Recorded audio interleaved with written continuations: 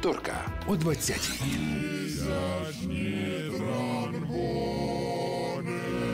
Доброго вечора. В ефірі місячні транбони, радіопрограма, яка з'явилась в Києві в 95-му році, 1995-му. Я народився в Києві в 1960-му. Е, Тоді практично скрізь панувала російська мова, хоча українську можна було почути на радіо, телебаченні, базарі. Українською розмовляли два двірника на двох квартирах мого дитинства: одна на Подолі і далі на північно-Броварському масиві. А ще Хоча сьогодні мова не про мене, а про сьогоднішнього мого гостя це Кирило Стеценко. Кириле, доброго Вітаю. вечора, Добрий вечір. перемоги і миру нашим оселям. Дай Боже. Ти народився в 1953 році у Львові. Абсолютно. Але якщо мене запитати про киян, які розмовляють українською, то ти будеш серед тих киян одним з перших.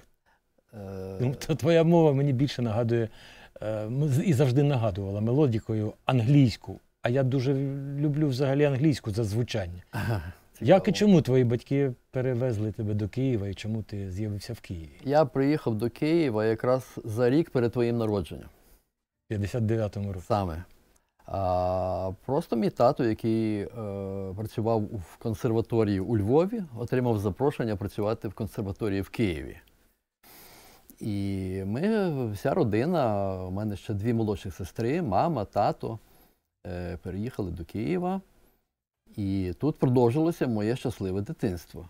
Розкажи, от, розкажи, будь ласка, нам про своє дитинство, про батьків. А, ну, а, тато, музикант, скрипаль, а, він вже в Києві потім був завідувач кафедри скрипки.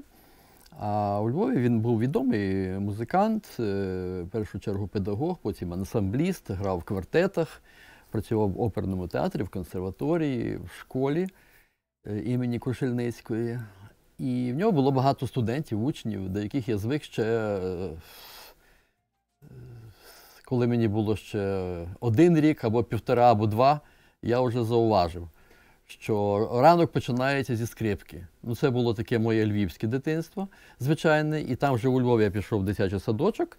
Е, Мама лікар. І е, дуже нехарактерна сім'я. Е, Мамина мова російська, татова українська. Моя мова материнська, насправді мова батьківська. Я ніколи з дитинства не говорив російською мовою а тільки українською. Але мамі не дозволяв говорити українською, тому що казав, мама, ти. е, Поплюжиш мову. Ні.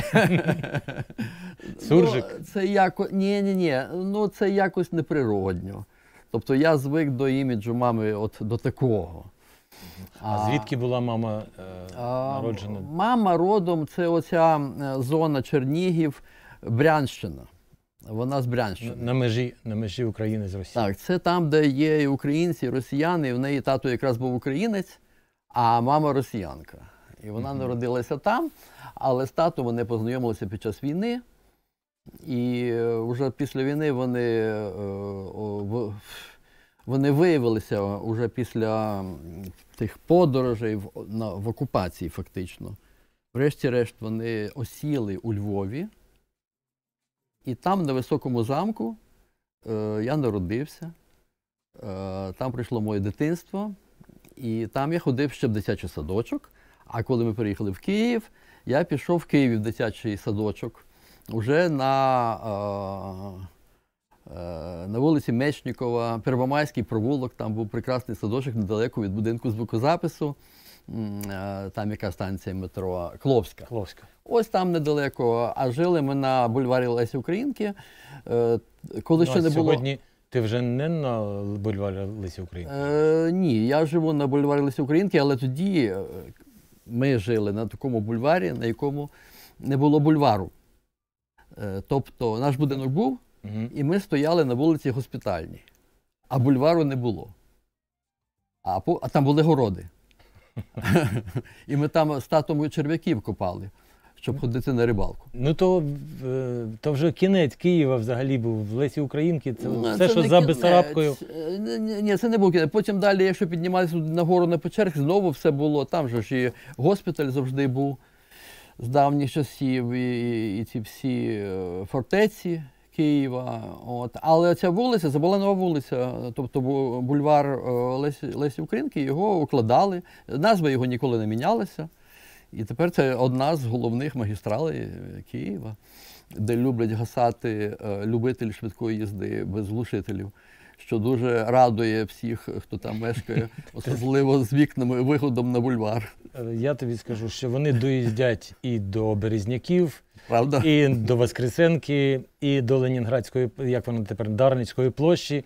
Оці люди, які не роз, ну, які отримують задоволення від швидкої їзди, гучної їзди, які не думають взагалі про тих. Хто я був здивований, що вони і по Хрещатику їздять. А, а хтось мені казав, що просто це дуже зручний пробіг від бульвару Лесі Українки номер 2 де він починається, аж до е, площі е, Лесі Українки.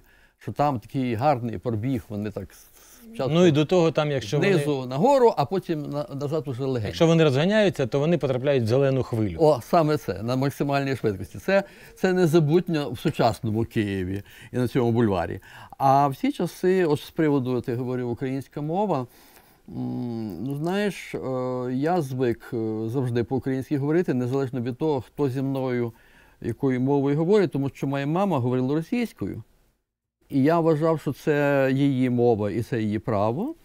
Але я е, не бачив в цьому проблем. Тобто в голові працював такий дуже швидкий автоматичний перекладач, і різниці не було. Тобто йшов дуже синхронний переклад, моментальний. От. Але тут в садочку, ну як? Е, Тольда, у нас е, в моєму садочку, де я був, там дітки одні говорили по-українськи, ви- виховательки були, які говорили українською мовою. Потім я пішов в школу імені Лисенка. Е, Така відома школа 11 е, класів. Е, З самого початку там 11 класів, де навчають і музики, і загальноосвітніх дисциплін.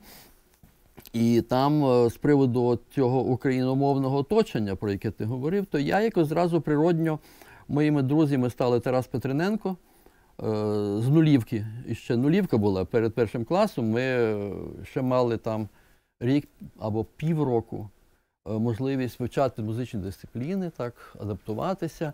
Де вони знаходилися? От там, де тепер театральний інститут. е, або вже університет театрального і кіномистецтва, здається, якщо я правильно назвав цю назву. Е, На цьому розі е, вулиця Ярославів Вал і е, площа Львівська. От там була наша... Кудрявська нинішня. Е, ну, фактично так. Ярославів Вал виходить на бульварну Кудрявську, і це Львівська площа починається.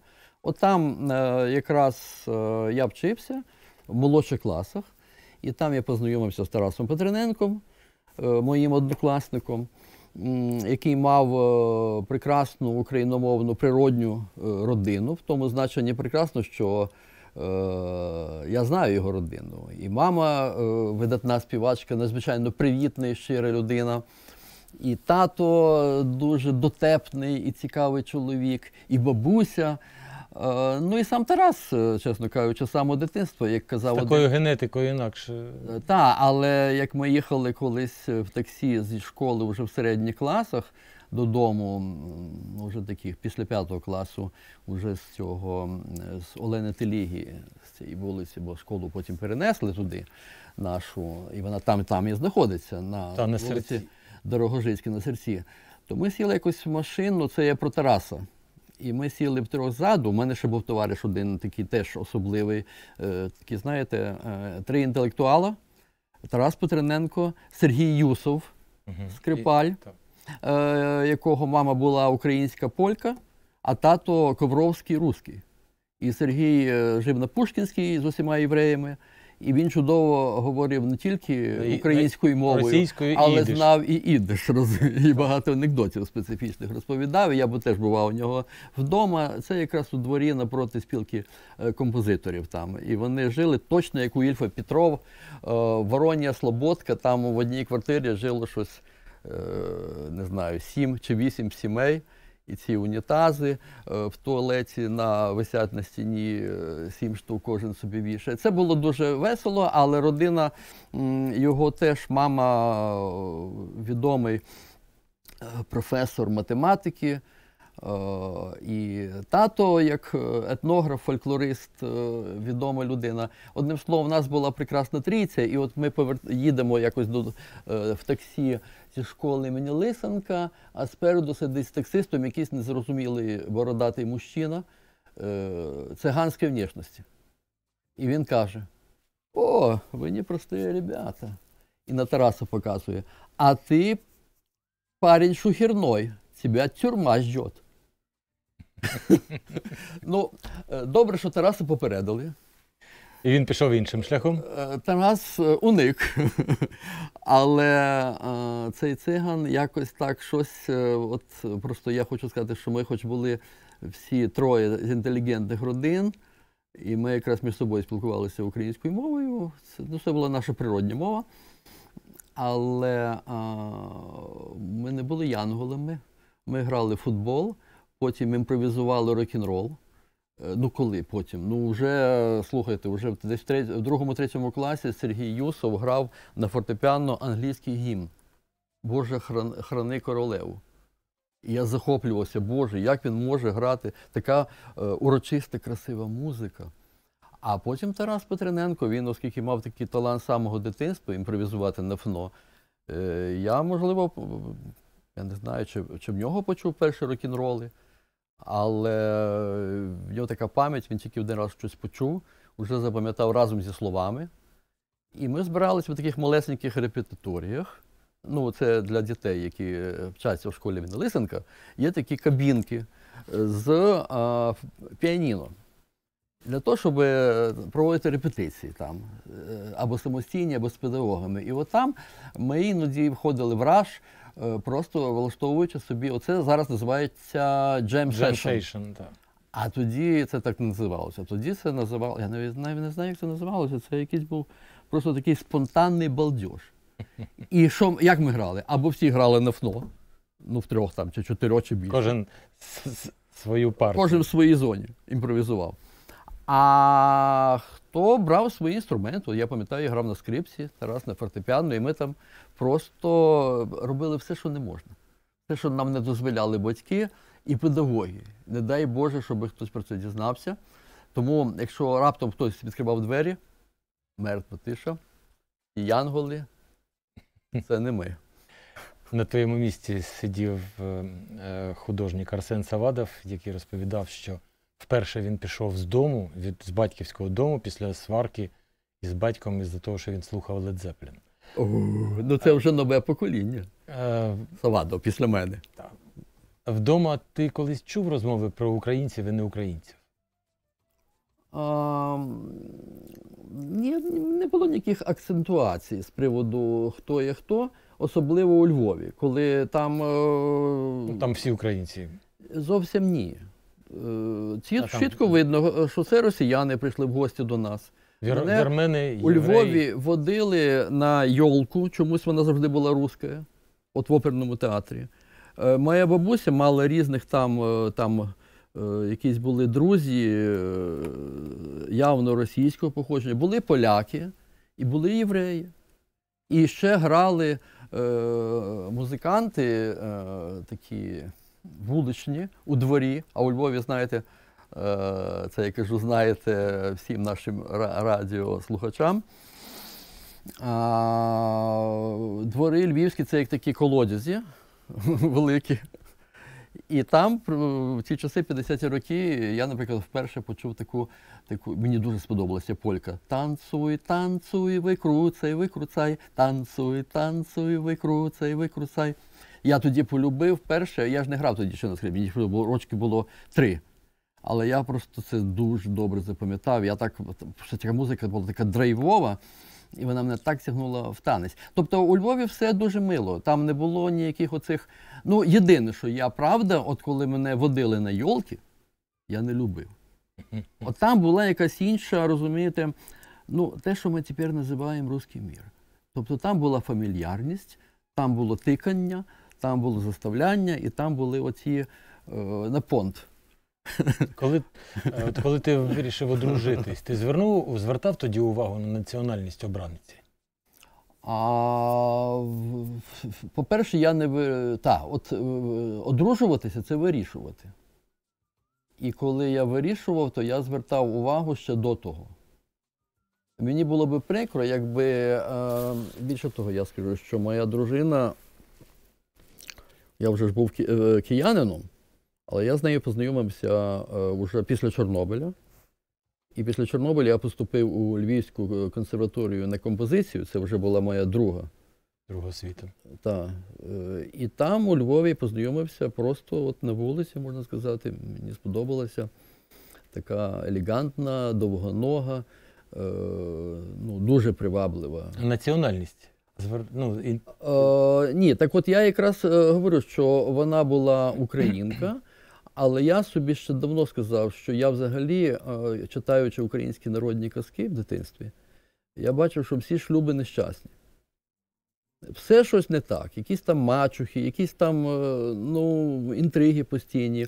Я думав, ні, я напевно одружусь на своїй сестрі, щоб застрахуватися від цього потенційного лиха. Але потім уже, оскільки я вже одружувався не, не таким хлопчиком, якому 15-16 років, все ж таки е, я засидівся в тих наречених деякий час. Але, але як? Ну, я одружився коли? Мені було 30 з чимось років. Це, в принципі, не є надто пізно, зовсім ні. Десь 33 роки, зараз я порахую. Чи 35 років. Але е, на твоє питання відповідаю. Е, Я вже тоді собі сказав, знаючи досвід всіх моїх друзів, знайомих, що коли ти одружуєшся в сім'ї, е, то дівчата, як правило, русифіковують чоловіків, і діти в них завжди говорять по-російськи. Це був мій е, негативний досвід і невіра до е, дівчат е, київських, в тому плані, що ну так просто я спостерігав життя. Тому що так виходить, що ну я думаю, це, це взагалі дуже делікатне питання, як от е, люди, якщо навіть обидва українці, навіть я кажу про мову в першу чергу. Якщо хтось один говорить російською мовою, то чомусь інший завжди переходить на російську мову. Я навіть своєму татові дорікав, який з моєю, з моєю мамою говорив е, російською мовою.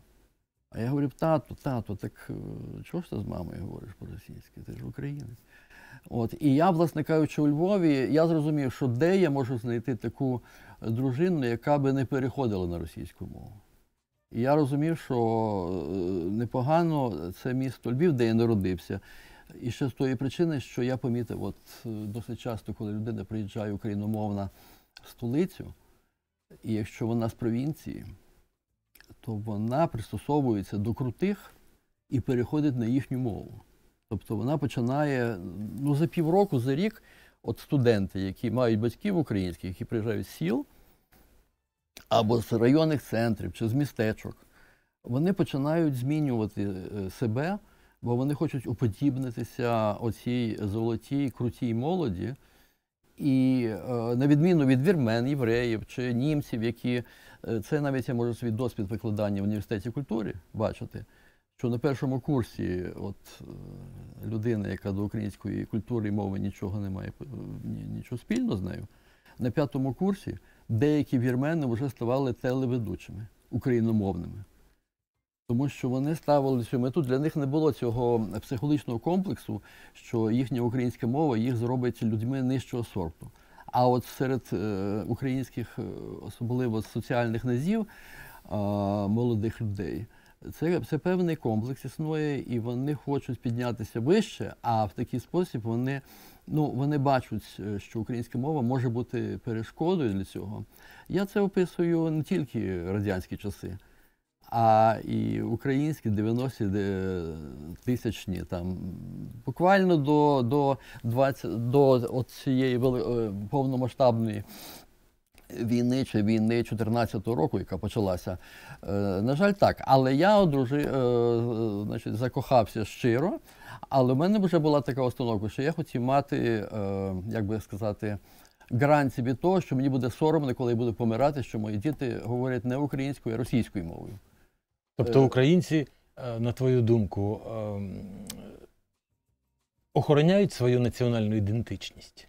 Е, бачите, в гімні говорять, там згидуть наші воріже- воріженьки. якщо нема ворогів, то українці схильні засинати. Тобто, а, а, а яка різниця? Тобто тут, тут є певна проблема, тому що є свобода від, а українець дуже не любить бути залежним від когось. Але є свобода для. А ця от друга половина це для креативного класу, це для аристократичної, е, скажімо, е, частини нації. А у нас так сталося, що е, якраз наші різного роду в різні періоди історії історичні опоненти в першу чергу переманювали аристократію на свій бік або її знищували. Це кожен по-своєму робив, як міг. Ну, в всякому разі, я не знаю, е, де тут сталося оцей, оцей самий цей. е, Ця проблема виникла, тому що візьмімо е, будь-яку сусідню націю польську, російську, турецьку. е, Оця самоповага і е, тримання е, цінностей своєї культури і мови, воно якби лежить апріорно. Е, ну, от на цій ситуації, в якій я жив і народився, я цього не помітив. Ну і це можна зрозуміти, тому що дивіться, я ж мені пощастило, я народився після війни вже. Я не застав цих великих репресій, голодоморів, е, тих всіх моментів, які сильно лякали моїх батьків і які винищували е, покоління дідів. Е, Тому що я помітив так, що українці переважно перелякані. Наприкінці 60-х років у Києві з'являється український ансамбль, який звучить більше схоже на західний, ніж на місцевий. Еней. Я думаю, що ви, ви називали його Big Beat гурт. Назва, скоріш за все, походить від е, Івана Котляревського, так? Е, так, так, так, так. Е, назва Еней, і це був восьмий клас. І, музичної школи. Так, музичної школи імені Лисенка, де ми всі разом вчилися. Та, Тарас Петриненко, Руслан Горобець, Кирило Стеценко, Геннадій Татарченко. Всі, усі українці. Е, Татарченко е, через два кла... на один клас старший, на два роки старший був. Це був наш кумир, це було інше покоління. Ну так, два роки це Гена, вже. Гена був дуже просунутим бітником, і він такі речі собі дозволяв. Та вся школа була на вухах від, від його називали Хасан. Ага. І, і він, е, в принципі, грав на соло-гітарі, на фортепіано грав рок-н-рол. Він співав, як Елтон Джон чи Джо Кокер, чи, скажімо, там е, так само Ле Зепелін. Е, Тобто він багато чого реально міг. І це був старший клас, так що ми на нього дивилися знизу вгору, наш клас. Але Еней перший він був з однокласників.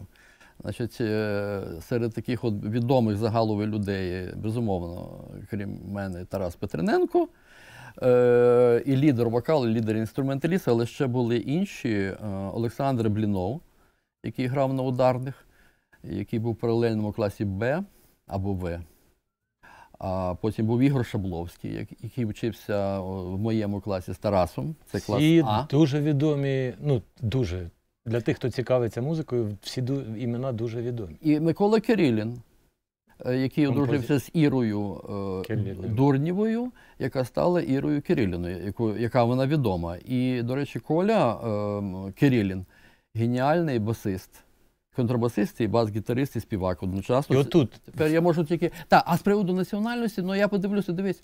е, Шабловський, скоріш за все. Шабловський, я і Тарас. Коля росіянин, а Блінов теж, е, ну так, напів там. е, От зараз з усіх боків лунає думка, що українська мова пригнічувалась, відчувала утиски, ти на собі. Відчував хоч раз, е, Ну, як сказати, я постійно жив в опозиції. що ти Я завжди знав, що телячою я біла ворона. Е, у мене був дуже добрий е, якраз ім- імунітет проти того, щоб ти відчував себе приниженим, бо я був із е, україномовного міста Львів і мав свій власний гонор. І я знав, що я українець, я знав, що я, ну, я відчував свою, ну тобто, взагалі, от щодо мови і культури, щоб відчувати якусь меншу вартість, такого у мене особисто не було. Я відчував скоріше е, якусь свою вищість і просунутість.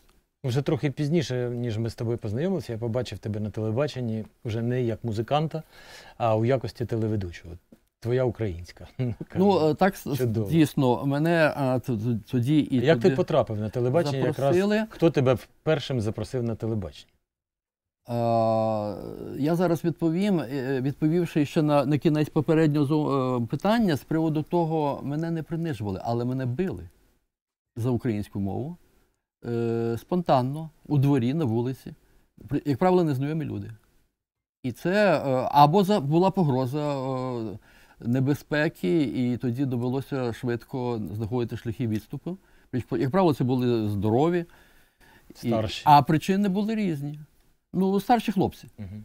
А були за Дерекова, там у- у дворі був один там Сашко, е, який е, йому це не подобалось, він е, шукав можливості. Так само я не буду називати прізвище, але ім'я, але це був син директора школи, який я вчився, який неподалік жив.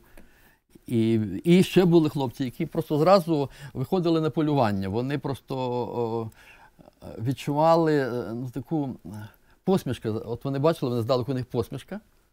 А я розумів, що, що я мішень. От. І я розумів, що вони росіяни, тому що для них е, є характерним це е, побити. Це просто така, ну, такий психологічний тип, е, ну, садизм певний, тому що психологічно це приємно. І фізично, навіть менше, ніж психологічно, але просто це відчуття своєї влади над іншою людиною через, через насильство. Це є дуже характерно, тому навіть оці всі е, теперішні жахливі картини тортур над нашими людьми з боку російських солдатів Ну, для сприймаються мене, як норма. це е, не є відкриттям. Це, це нормально. Я за своє життя це е, ну, розумів, що є. Ну це не всі росіяни, але Звісно. Е, але це є певний такий тип, який досить поширений. І, і, і саме серед е, ну, от якби е, attitude. Але е, тим не менше, я е, це все ж таки не було постійно. І тому я лишався сам собою. І це якби були певні пригоди. А Толя в дитинстві, під підлітковому віці хлопчики мають дуже багато пригод, небезпеки і бозна чого. Але тут в даному випадку я запитав саме про українство. так, так я якраз кажу, що це були теж певні пригоди, які тягнулися е, певним таким от пунктиром. І я просто знаю, що так е, кілька разів е, мене за, за те, що я розмовляю українською мовою, били, але різ, різна мотивація. Так, так, вони Або взагалі знаходили не- привід. Або не взагалі, що ти говориш, що, що говориш як нормальні люди. Раз. Друге, а що ти поплюжиш українському? Я не знаю, хто вони. Це кожного разу були різні. Це, це е, вони були виходцями своїх сімей, де культивувалися, наприклад, якісь е, такі шовіністичні погляди на, на світ, що тільки так треба говорити. Це одна сторона. Могли бути е, якісь е, кагібісти, коли я вже був підлітком чи е, юнаком, які е, теж могли цим займатися. Я цього не знаю, але тим не менше для мене ця мова була природньою, і, власне кажучи, на телебачення, як я потрапив, е, я е, як скрипаль своїм татом. е, Час від часу потрапляв на ювілеї з дня народження мого діда композитора Кирила Стеценка. Ну, я звик до телебачення вже з першого класу. Ще у Львові я бував на телебаченні навіть перед першим класом. Потім звик те, що я на телебаченні граю на скрипочці. Ну, Там одну, одну-дві, е, два твори мого діда, скажімо так. А, а потім я мав ще практику з Веронікою Муковій, наша, е, можна сказати, вже історична постать українського радіо. Вона мене запросила на програми, е, які мали мету популяризація сучасної молодіжної музики. Це вже було в часи перестройки. 86-й рік. Та, та, навіть п'ятий, шостий, отак я з нею почав. У мене була з нею програма е, Музичні контрасти. Вона таку придумала назву. Я тоді розповідав, а я ще мав досвід в 70-му році, коли я був в 10 класі, я відвідав Польщу на місяць, і я там слухав разом з польською е, молоддю е, Радіо Luxembourg. Люк Я був Радіо просто так шалено вражений, що можна так говорити по радіо, що можна так швидко, з такими інтонаціями, з такими. Я був захоплений. Ну я взагалі тоді рок-н-рол грав ще якраз в Енеї вже був, вже грав на соло гітарі. Мені бабуся там в Польщі. в мене була двохрідна бабуся Нюся, яка мені купила Йолану Стар соло гітару. Я себе відчував дуже крутим, і я хотів принести в Україну цей дух свободи. І от коли я до Вероніки, якраз ми почали з нею, то я намагався багато чого е, сюди перенести е, іншого стилю. Іншого. Скажемо, західного. Е, так, ну західного, але там, де є свобода. І, Ну, і категорично відрізнялось від східного. категорично, але це мало. Я собі поставив мету, що це має бути український стиль, але зроблений е, з заходом в майбутнє. Тобто, ну я ж бачу, що все, що робиться на заході, у нас через 7-15 років все одно відбувається. Все те ж саме робив твій дід. Ну, ми про, про це трохи ну, пізніше. Від, можливо. Може, може в, іншо, ну, в інших це, стилях, це але був те ж інший. саме. Там була е, ситуація е, драматична. Про тебе написано, що ти завідувач кафедри шоу-бізнесу Київського національного був університету до, до культури і 12-го року. До 12 Як ти року. потрапив до університету Поплавського? Е, 98 рік, е, банківська криза жорстка. Я якраз я працював на телебаченнях різних, і ми сиділи 9 місяців без е, замовлень, без е, спонсорських надходжень, без зарплати. І е, якраз в мене донька народжується. Я так розумію, що я можу прожити, сам себе забезпечувати, забезпечувати як завгодно. Але для доньки мені треба мати ну, гарантії. І я згадав, що в мене в моїй передачі на ТВ Табачук я працював. Я був головний редактор з музичних і розважальних і молодіжних програм. Е, якось завітав Поплавський, там позвонили до Вадима Табачука із університету культури, що от до вас завітає ректор. І він мені говорить, що от е, твою програму прийде ректор. Ну, я кажу, добре. Е, ректор потім сказав в кінці, там, хороша дівчинка, спасіба і до свидання. А я кажу, так, справді, Михайло Михайлович, е, дуже гарна дівчинка, е, дякую і до побачення. Тобто, е, ну, розумієте, е, розумієш, Толя, е, Михайло Михайлович любив раніше, е, та й зараз, може, суржик.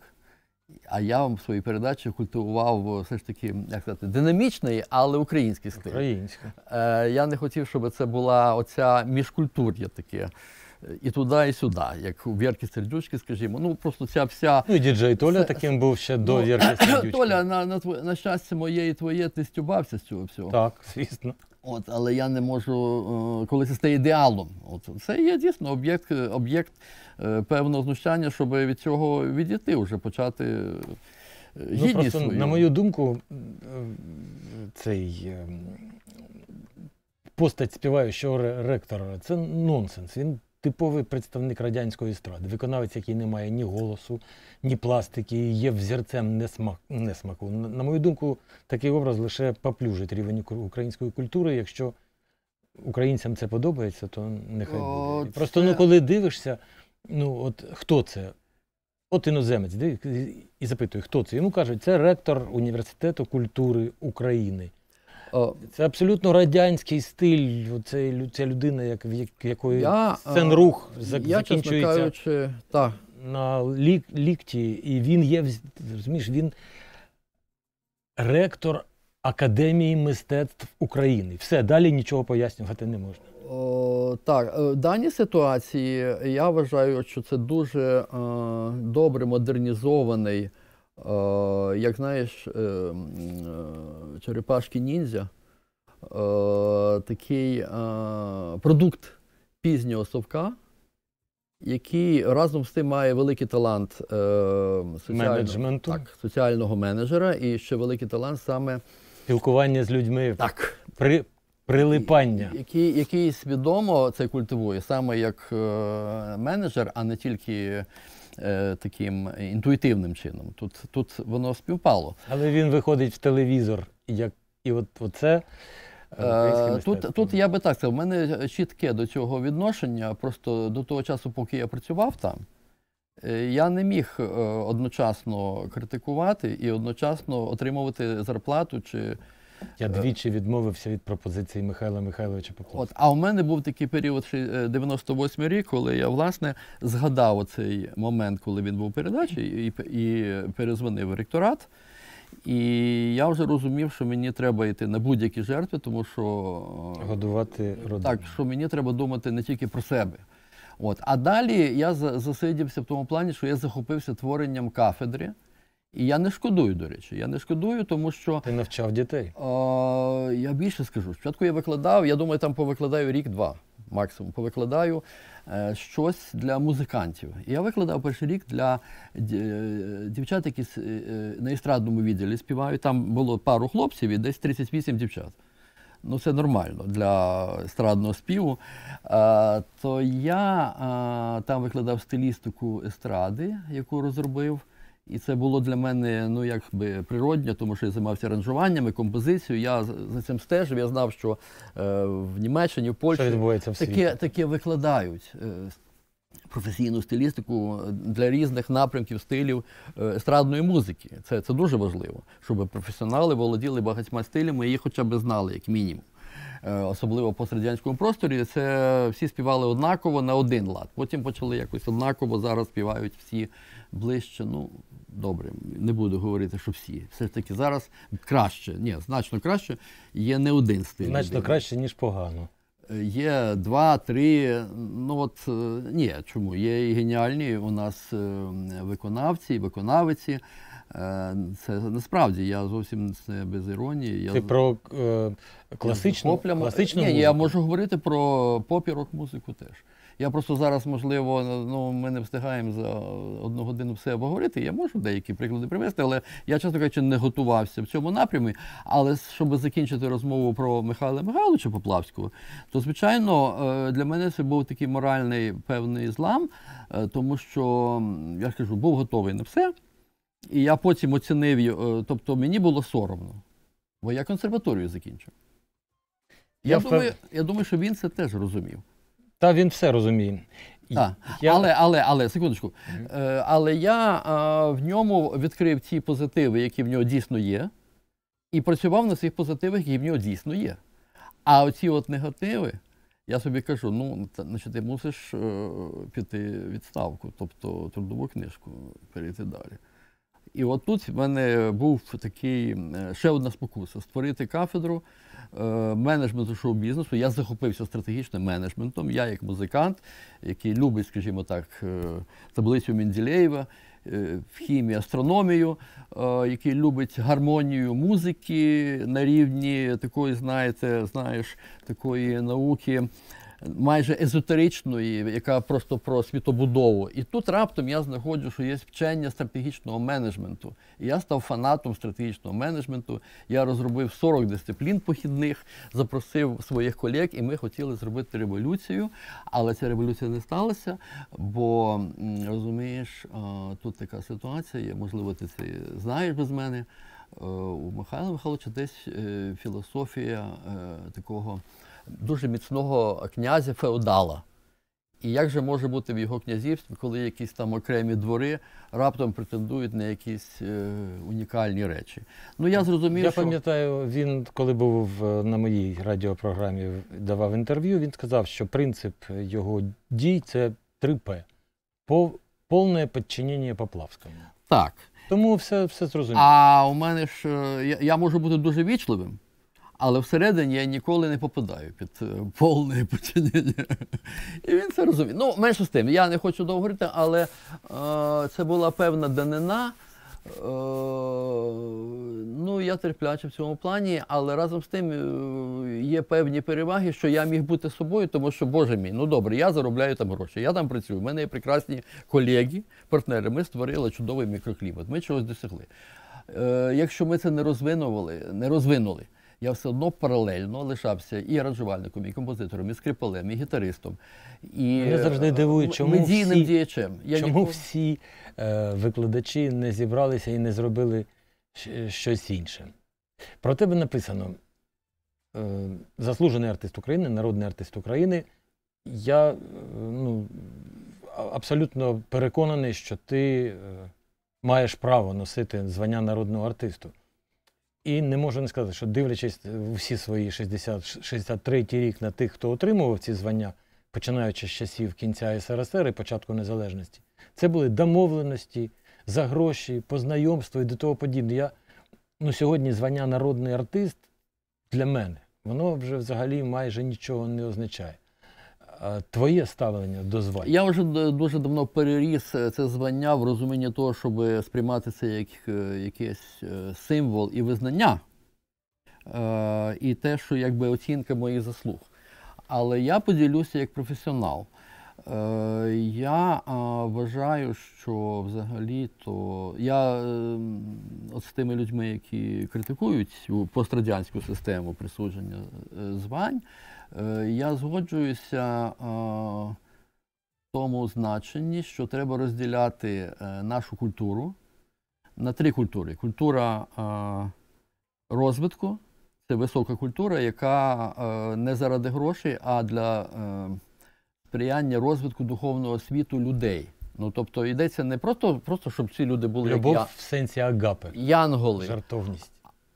Ну, десь так. Е, Тобто це соціальне призначення, соціальна функція. Розвивати це в всіх країнах світу існує. Є е, другий тип культури культура е, споживання. Е, Це фактично культурні індустрії, це те, що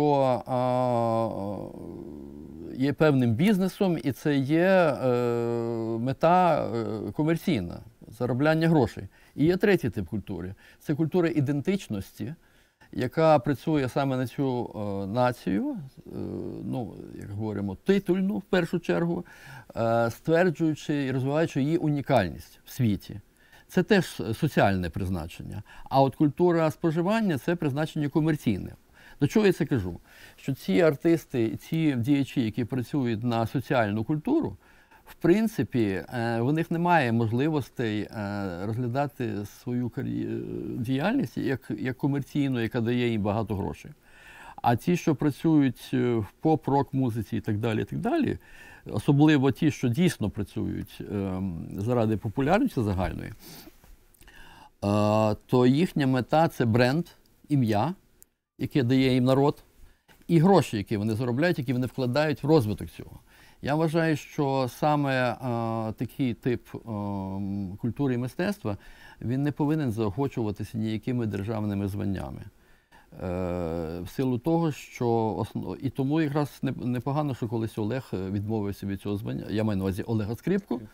Е, бо я не знаю, які були в нього там політичні чи якісь інші мотиви, але він дуже точно показав, що якщо ти чесний артист, можливо, не тільки він один. Одним словом, е, до чого хочу Сашко Положинський відмовився від е, орден, відзнаки якоїсь ордена. Якоїсь сказав- знаки. так. Ну, е, Сказав- тут іще теж залежить від того, і яка адміністрація тобі цього е, а, хто, дає. а хто тобі підписував? З Які приводу, президенти? з приводу тепер моїх звань, заслужений і народний, я скажу, що мені так якось в житті щастить, що е, це стається від тих президентів, за яких я ніколи не голосував.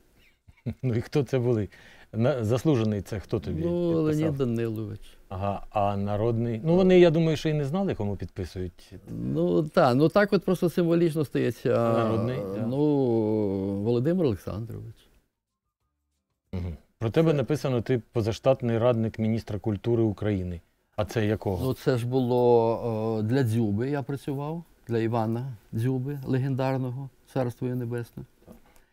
І для Вовкуна при Ющенку це було. Що ти можеш сказати взагалі про цю установу Міністерства культури? Вона підвищує рівень культури в Україні? Чи це атавізм, корупційна установа, яка залишилась у спадщині від комуністів? Ну, я якраз в 2005 році пропонував о, зробити можна таку сказати, радикальну і системну о, культурну реформу, яка би впливала на, на, на все, тобто і на економіку, політику. На, на... Оце якраз йдеться про е, е, культура має працювати, щоб е, у людей, українців, був сенс свободи для. Тому що культура це наша свідомість, це наші цінності, е, це е, те, що не продається за гроші, це те, що дає сенс життя. І, власне кажучи, е, я вважаю, що в такій державі, е, до речі, Міністерство культури немає тільки в Сполучених Штатах Америки. А Британія, там, Франція.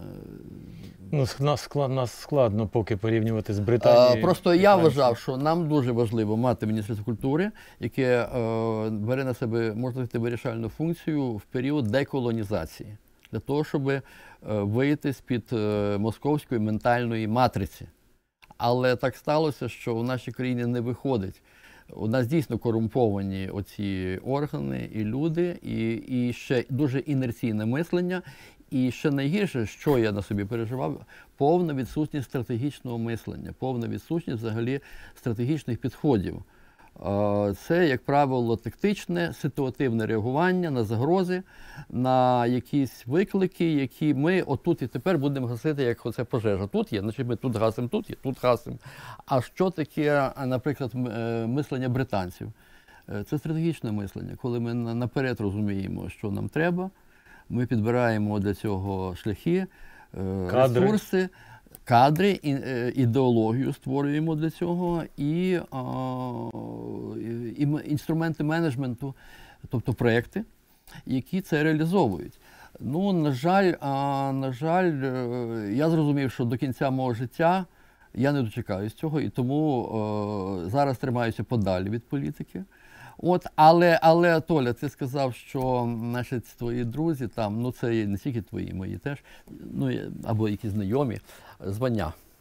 От вони е, десь там домовляються, комусь платять. Це дуже часто ми бачили. Мгм. Чесно кажучи, дійсно, в цих справах є багато такого е, сумного, що, що було би можливо чесно відмовитися, щоб не змішуватися з цими е, людьми. Е, ну, от я сказав, що для тих, хто займається соціальною місією культури і мистецтва, е, звання потрібні все ж таки. Але у нас більшості дають звання саме в комерційну сферу.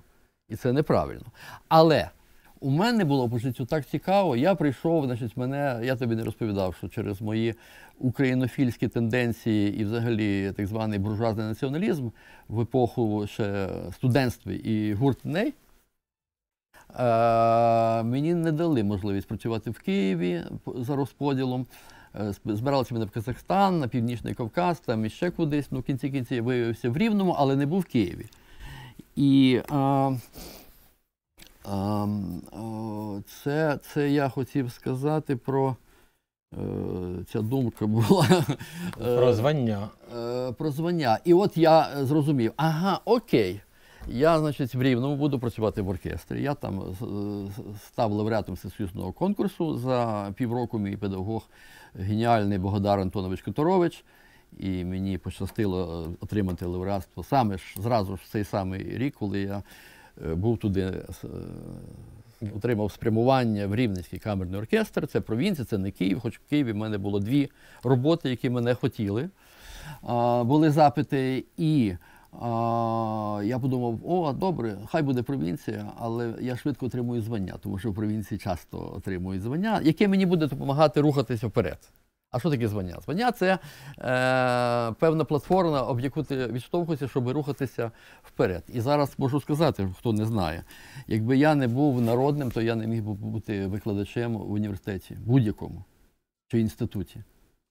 Тобто мені би треба писати дисертацію. А у нас таке законодавство, що е, для людей педагогічної е, діяльності звання заслужений або народний відкривають двері для викладання е, в університетах. Там, там є, там є ще надбавки до зарплати. Наприклад, мені треба на скрипці грати, що мені не приносить ніяких грошей. Я просто це роблю сам е, для себе, як моя професійна честь. Я кожен день мушу 2-4 години потратити на скрипку для підтримання форми, для композиції. Це нічим ніколи не оплачується, і я ніколи за це і не, і не мрію отримувати ніяких грошей. Але завдяки цим надбавкам я можу мати е, на 20 або на 40% вищу платню. Тобто це для мене є е, таким виправданням. І, звичайно, коли ти собі організовуєш концепти філармонії, і ти коли е, пропонуєш себе з програмою, а вже е, я вже помітив, покоління директорів два рази помінялося. Вже померли всі, хто був. Тільки один директор, слава Богу, є в Вінницькій філармонії, е, який, е, коли я починав, був таким студентом. Він там був директором, і він зараз там є. Слава Богу. Дай Боже йому здоров'я. Але це На них, на них всіх діє оцей напис Народний артист України. Це допомагає в менеджменті, це має значення.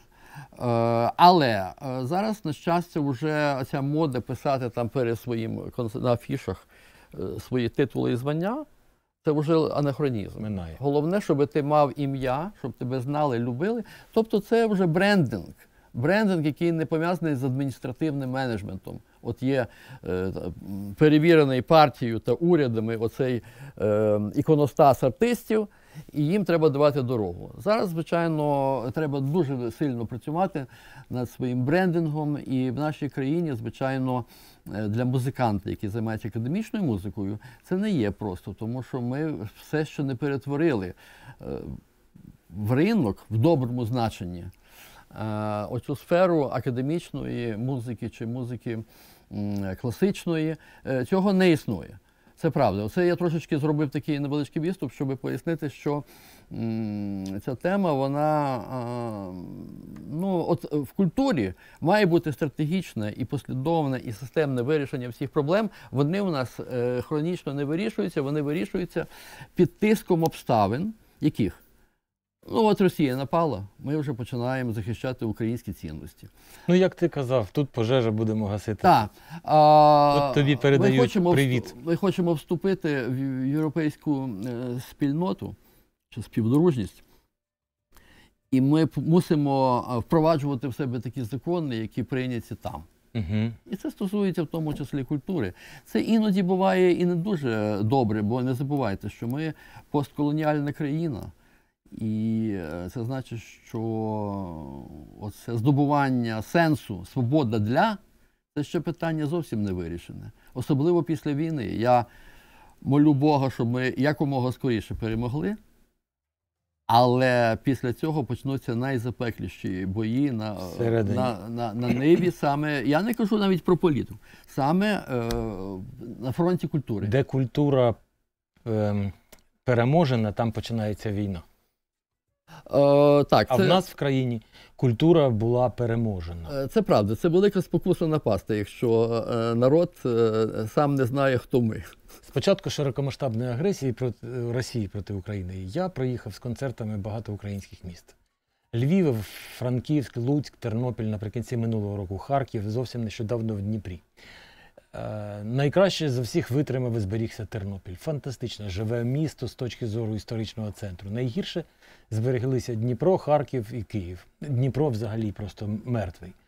Ну, з моєї точки зору. Е, От там замміністра культури Нищука колись на прізвище Мазур, яка, до речі, народилась в селі Крижопільського району Вінницької області, заявила, Цікавий нюанс. та, що історичного Києва не існує. І разом зі своїм шефом тоді вони дали дозвіл на забудову бульварно-Кудрявської, Олеся Гончара, там внизу забудували. Києві в нас, Так, так, в Києві, так, так. так, І багато чого ще це міністерство наробило з точки зору знищення історичних пам'яток, пам'ятник містобудівництва, охороняємої зони ЮНЕСКо, зелених зон. Все це на користь забудовників. Ти слідкуєш за зміною ар- Е, архітектури нашого Це, міста? це, це хороша тема. Я не, не є настільки е, компетентний в цій сфері. Але ти і- що ти бачиш? І безумовно, безумовно, я е, на стороні тих, хто воює проти забудовників, які підтримує ну, цю індивідуальність е, обличчя міста Києва, архітектурну і тяглість традиції. Це дуже важливо. І, і, і це, звичайно, бентежить, коли ми втрачаємо. Ну, ти бачиш, чим відрізняється Львів від Києва? Сьогоднішній Львів від сьогоднішнього Києва. Та, Львів, Львів так. майже не змінився, центральна частина тільки відновилась, а Київ практично зник. Е, Львів, на щастя, втримав свою ще з е, пізніх середніх віків. е, Вигляд Київ вже скільки разів бо- бо- бомбардували, але на щастя, Боже, треба молитися, дякувати. Марія Оранта нас охороняє, Свята Софія. Скільки теж не було нападів, вона стоїть вже тисячу років. Тисячу років. Як це прекрасно. Хай так буде. І хай е, оцей, отакий от, е, якби ця аура небесна, вона сприяє тому, щоб Київ зберігався. Але якщо говорити про міністерство от, е, Євгена Нищука, я не Культури. сумніваюся. Так, так, так. В той час, коли був е, міністром Євген Нищук, я ніколи не сумнівався в його патріотизмі і в його. Ну, ми ж його знаємо як голос Майдану. Але тут же інша ситуація. Я завжди дивуюся. Його поставили міністром культури і Так. як голос Майдана, який Я нічого страш- не вирішує. Так, я е, так, з одного боку, міністерство, по суті кажучи, е, воно, е, я коли був от радником у Вовкуна, я бачив, що вони виконують Міністерство культури, міністр, побажання прем'єр-міністра, президента і кабінету міністрів. У них нема взагалі своєї, е, свого голосу, політики ніколи. А чому? А тому, що от якби я е, намагався би робити е, стратегічні е, реформи у сфері культури, то я мусив би, я розумію цілком, що, що має бути зв'язка президент, прем'єр-міністр, е, е, віце-прем'єр з, з питань культури і духовності, міністр само собою, і Верховна Рада. е, Складно голова. очікувати цього від людини, яка Бо- дозволила собі ем, номер з, роялем. Е, ну, Це смішно, я Ні, там, те, що- але те, сам що- факт. Ні, я, я згодний абсолютно, е, тому що е, я спостерігаю з 2004 року за е, еволюцією е, 95-го кварталу, але просто те, що сталося після 24-го е, числа, це все сенсація, і, і психологічно це можна пояснити. І вважаю, що нам пощастило, що е, оцей якби особистість і ця генетика президента така, що він просто не може собі дозволити е, програвати як е, отакий природжений лідер там е, кварталу в Кривому Розі, який е, вийшов на рівень національний, і він вибрав собі а, таку поведінку, щоб все-таки йти на пряме протиборство. Це, це е, психологія, психологія. Але я кажу, що те, що може бути е, ем, небезпечним саме в культурі, це тоді, коли закінчиться це протистояння, коли ми перейдемо е, в період, за яким ми молимося. Перемоги, Сталася перемога. І отут якраз. е, І тут українці не можуть культура- дозволити собі наступного 2000 п- провалу Майдану 2004-го, приходу так, до, так. до влади і 13-го, 14-го. Українці правда, мають вибороти остаточно. Ну, Я Українці вдячний. постійно е, вдоскона... е, як сказати, вчаться. Тобто нам е, дається постійний шанс. Ну за останній період жодна країна не могла не мала такого. То е, ну, тобто майдани там. Е, Революції, революції, революції. Потім е, а, проти кучми, кучму геть.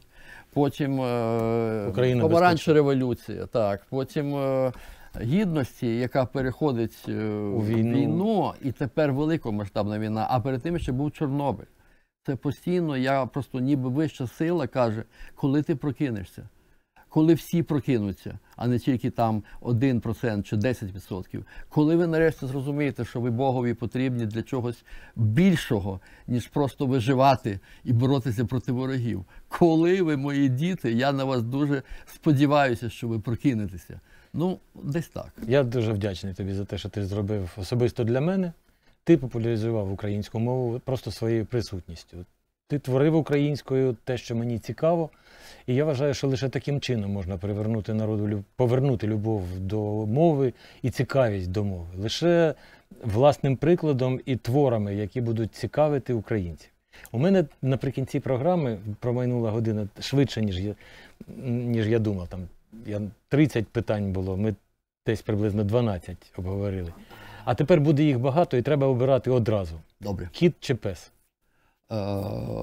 кіт, птах чи риба, птах, а риба чи м'ясо, е, м'ясо, їсти чи не їсти, е, їсти, їсти чи пити, е, їсти, Е, пити чи не пити? Це про алкоголь, е, не пити, курити чи не курити про тютюн, не курити, ніч чи день, е, день. Різнокольорове чи чорно-біле, різнокольорове, писати на папері чи у комп'ютері, на папері, книга чи кіно, книга, книга на папері чи з інтернету, на папері, аудіокнига чи книга, е, книга, кіно чи мультфільм, е, кіно, інстаграм чи фейсбук, Фейсбук. IP-зв'язок чи телефон? А,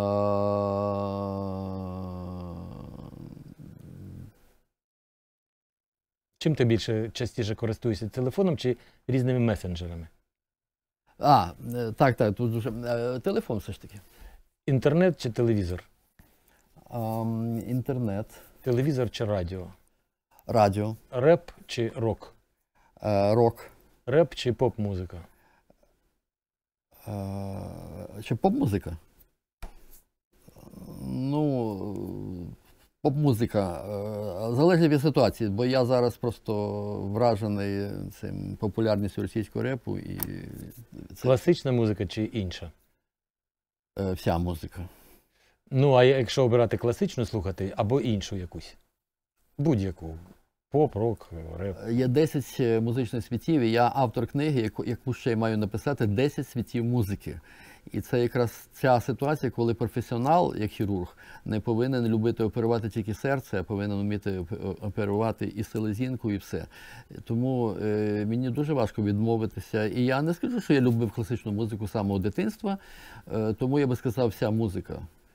І хай буде інше, в якій буде при- е, присутня те, що е, ніхто не знає, але це буде класично. Музика чи тиша? Е, Тиша, Цивільні чи військові? е, цивільні, А, ще забув слово чи тиша. е, тиша. Америка чи Європа? А, ем, да, ну, якщо так сказати, західна цивілізація, яка включає те і друге, це була би моя відповідь е, щира. А Америку, Європу не поділяєш? Де, кра... А, де тобі краще? Ні, є велика різниця. Знаю, але обираєш. Добре, ну е, я був в Америці в Європі. е, Поки що я, незважаючи на свій е, все одно уже ветеранський вік, все одно я прихильник Америки за динамізмом і наступальністю. Азія чи Африка? Е, Африка е, як е, батьківщина людства і е, ритмічного світовідчуття, а Азія як релігія, філософія і медитація. Перемога чи домовленість? Перемога. Одне питання до президента України. Є в тебе питання до Володимира Олександровича Зеленського? Ну, відверто кажучи, нема питань. А побажання? Е, коли всі українці вам, пане президенте, довіряють, не зрадьте нас, коли ворог помре. Е, Дякую тобі ще раз, що ми зараз послухаємо твою пісню, яку заспівала Наталя Гура. Е, Це пісня якого року? А це десь е, м, е, з кінець 70-х. Е, Десь кінець, десь 78-79 я вже. В гостях в мене був Кирило Стеценко, це онук Кирила Стеценка. Ну і син Вадима Стеценка. Так і є. Так і є. Дякую тобі. До наступної зустрічі. До наступної зустрічі. Годину пройшла абсолютно миттєво.